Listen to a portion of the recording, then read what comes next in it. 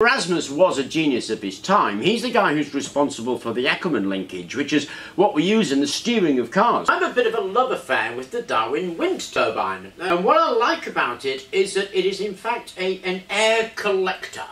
We put a bit of wind on that, we'll get them to flap.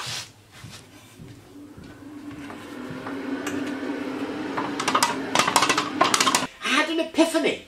And the epiphany was, instead of sticking the flaps outside, move them inside.